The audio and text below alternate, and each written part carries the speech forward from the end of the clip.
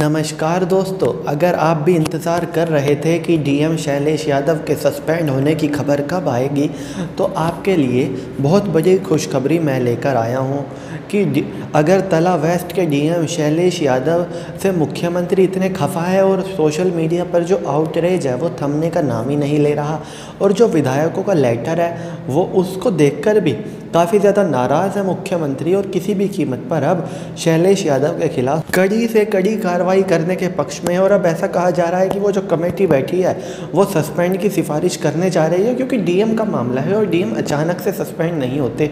जैसे लोग social media पर आउटरीच कर रहे हैं कि आज ही कर दो, कल ही कर दो, कमेटी रिपोर्ट सौंपेगी। दुल्हनों के घर वालों से बात करेगी, दूल्हे के घर वालों से बात करेगी, साथ ही साथ वहाँ पर जिन पुलिस वालों के साथ डीएम ने बदतमीज़ी की उनसे भी बात कर सकती है, क्योंकि डीएम खुद एक पब्लिक सर्वेंट होता है। अब जब डीएम खुद एक पब्लिक सर्वेंट होता है और पब्लिक पर अत्याचार किया और उसका वीडियो भी वायरल हो गया, ज़ाहिर सी बात है सस्पेंशन की तलवार तो तभी से लटक रही थी और हर गुजरते मिनट के साथ ये बात आप लगभग तय मान के चलिए कि डीएम शैलेश यादव का जो सस्पेंशन लेटर है वो बेहद करीब आ रहा है। और अगले तीन चार दिन में जब वो कमेटी अपनी रिपोर्ट मुख्यमंत्री को सौंप देगी तो मुख्यमंत्री सस्पेंड से नीचे कोई भी एक्शन नहीं लेंगे, क्योंकि जो ये वाक्य है, उससे भी जो पार्टी है रूलिंग पार्टी बीजेपी है और बीजेपी के सभी विधायक नाराज़ हैं और विधायक गुस्सा है डीएम से।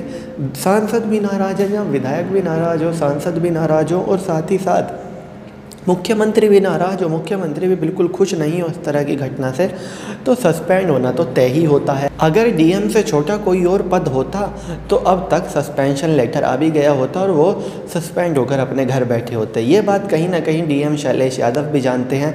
उन्होंने माफ़ी भी मांगी, लेकिन डैमेज इतना हो चुका कि उसको एक बैंडेड से कवर नहीं किया जा सकता। माफ़ी की बैंडेड उस डैमेज को कवर नहीं कर सकती। साथ ही साथ उनकी पुरानी वीडियो आने लगी। एक वीडियो में दिखाया गया, जब वो एसडीएम थे तो एक शख्स की बाइक उनकी गाड़ी से हल्का सा टच कर गई। तो वो कहने लगे कि तेरी हिम्मत कैसे हुई ये करने की? और उसमें डंडे से उसकी पिटाई की। इसके अलावा इनके बारे में कहा जाता है, जब ये वेस्ट बंगाल में थे तो दुर्गा पूजा रुकवाई थी और गोली भी चलाई थी, जिसमें एक शख्स की मौत भी हुई थी।